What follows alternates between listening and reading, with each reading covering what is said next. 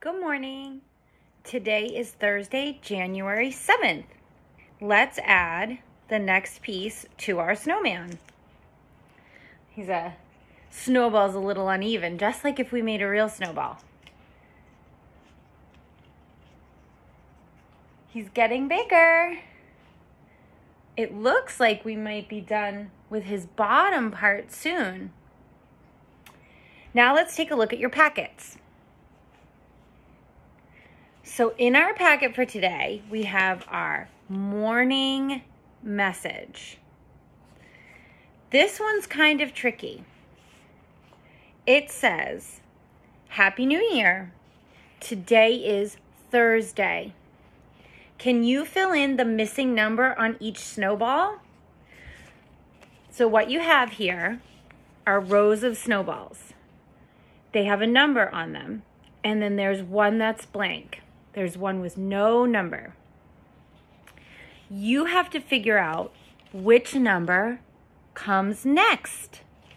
You use the numbers on the snowballs before it and after it to help you figure out what goes in the blank snowball. Let's make a number line and we'll see if that helps. So I'll take down my calendar.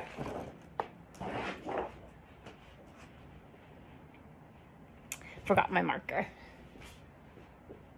Okay. All right, here we go. So we'll write our numbers on our little makeshift whiteboard here. One, two, three,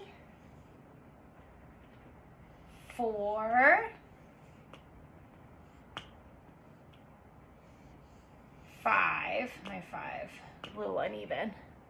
Okay, then we can start a new row. Six, seven, eight, nine, ten. Okay, so I stopped at 10 for this. This is the 10 all by itself. 10 is hard to see because it looks like a 1 and a 0. But that's the 10. Let's make it a little closer.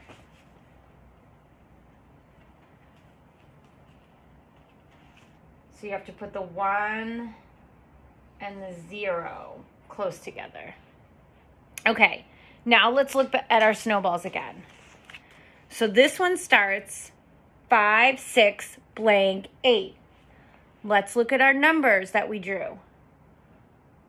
5, 6, 7, 8. 5, 6, 7, 8. 5, 6, 7 goes in between 6 and 8. So write a 7 in that snowball. Now let's see what comes in our second row of snowballs. Blank, three, four, five. Let's find a three on our number line. Here's our three, three, four, five. So we have to figure out what comes before the number three when we're counting. One, two, one, keep putting the paper in front. One, two, three. Two. Two comes before three. So you put a two on that snowball. All right, now this row here are bigger numbers, but I know some of you really like to count those bigger numbers over 10. So they're included here. We have a 12, 13, 14. What comes next? Let's draw the numbers after 10 on our whiteboard. I'm to erase these.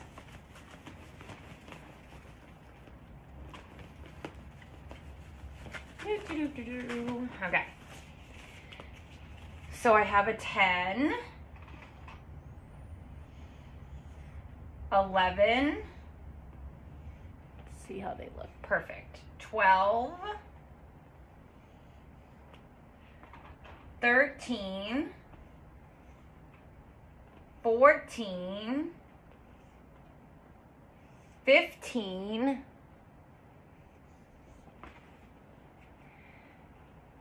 And then we can go 16, 17, 18, 19, all the way to 20. We don't need to worry about this row right now. Let's look back at our snowballs. 12, 13, 14. What comes after 14? Let's look at our chart. 10, 11, 12, 13, 14, 15. Hold my paper up and run again. 10, 11, 12, 13, 14, 15. 15 comes after 14. Let's write a 15 in our snowball. So that's how you do your first page in your packet for Thursday. Let's see what's next.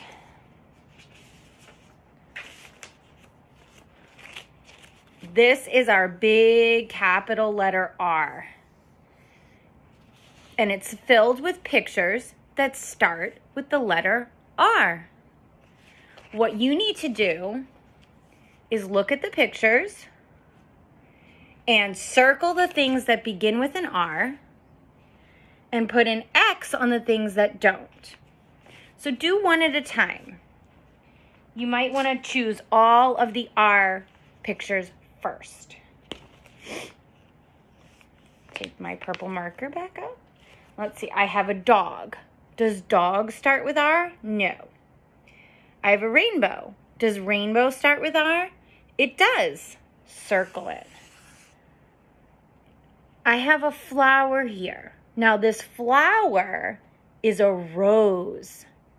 Rose starts with R. Circle it. Here's a little raccoon. Raccoon starts with R. Circle that raccoon. Let's go around this way. Cupcake. Does cupcake start with R? It doesn't. Don't circle it. Then I have an apple. An apple. Apple. That does not start with R. Don't circle it. How about a cat? Does cat start with the R sound? Nope. Uh, we'll go down. Ring. Ring. Ring starts with the R sound. Circle the ring. Oh, then we have our friendly little snowflake. We've been talking about snowflakes this week and drawing some snowflakes and making some snowflakes. We learned that snowmen are made of lots of snowflakes. Does snowflake start with the R sound? No. How about a strawberry?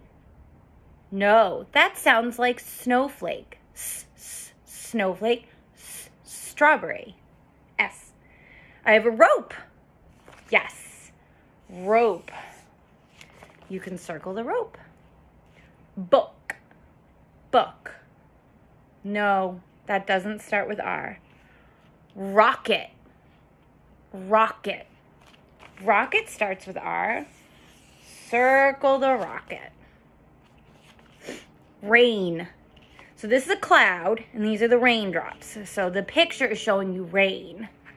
Rain. Does rain start with the R sound? It does. Circle the rain cloud. Now you can go back and check. Dog. No. X. Cupcake. No. Apple. Does apple start with R? Nope. X. Cat. Nope. Snowflake. No. Strawberry. Nope. And book. Nope.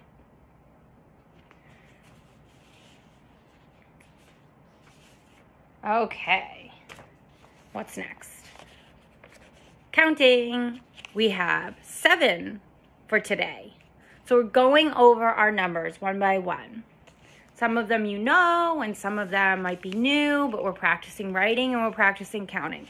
So here we have seven snails. One, two, three, four, five, six, seven. Seven snails. This is the number seven. You can practice writing your seven. So here's the seven done for you. And then there's two sevens to trace. I'll trace them.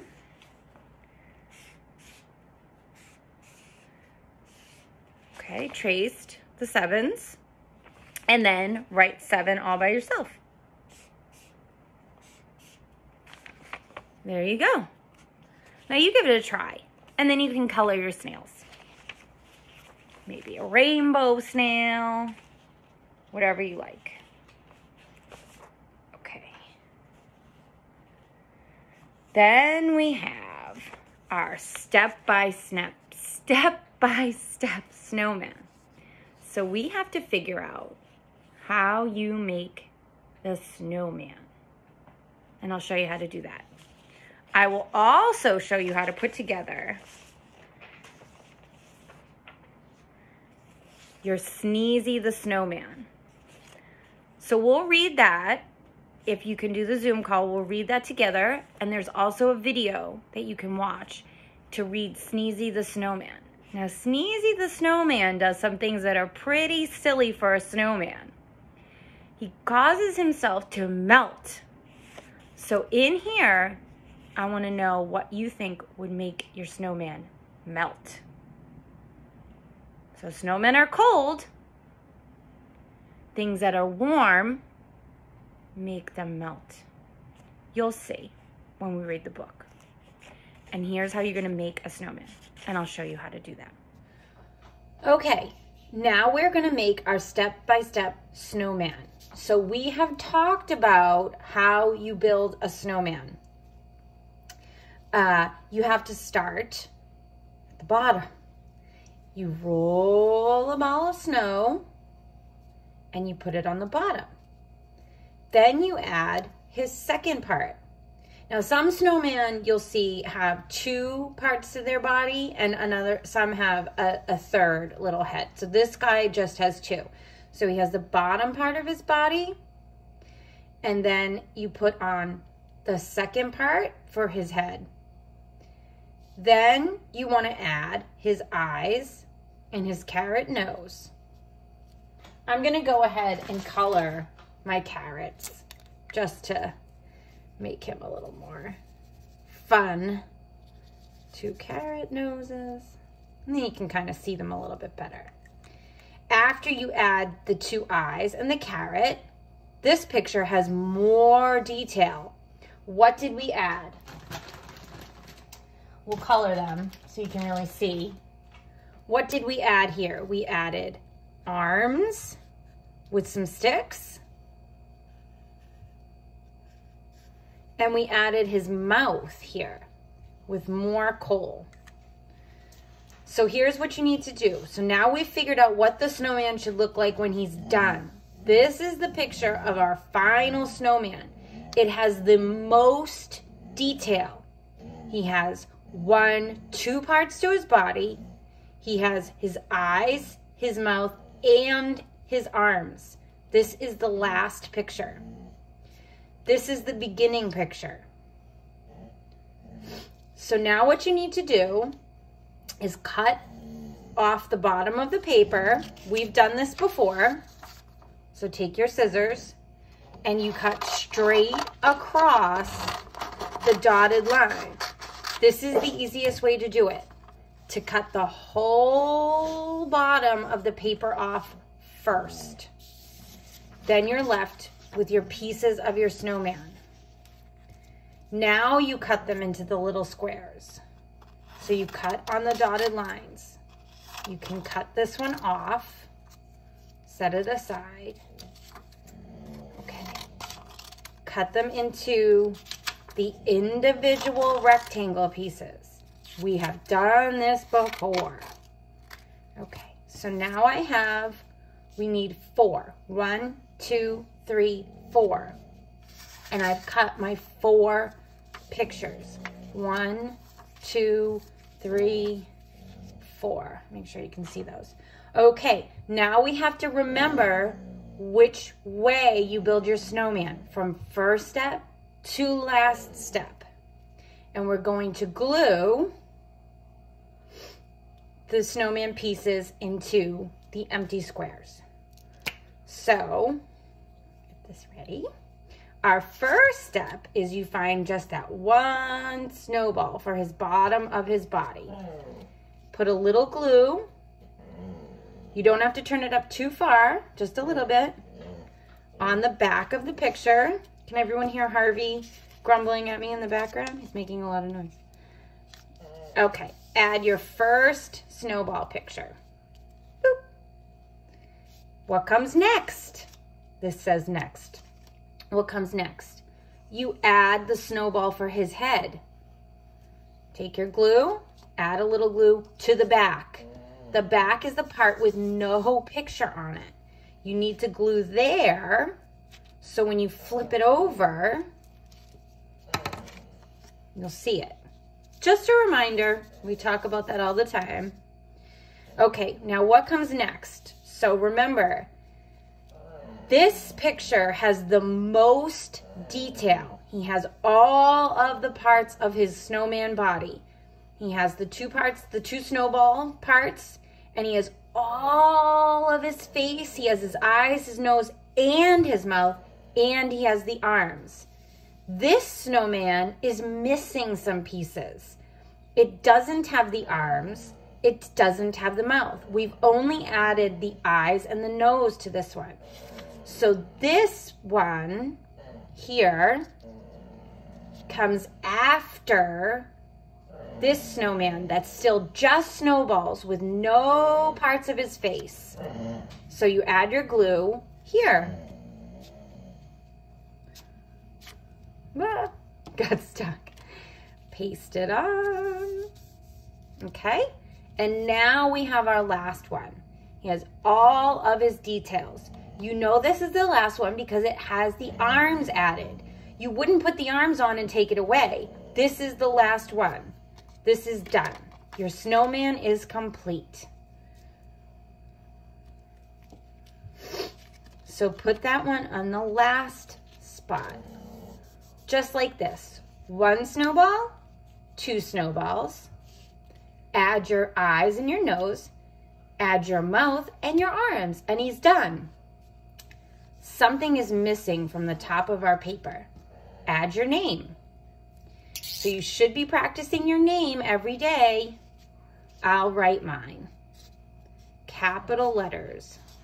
So my name has two parts, Mrs. Tynan. So we'll put the capital T, Y, N, A, N is how I spell my name. And you write yours here at the top. And now you've built your snowman.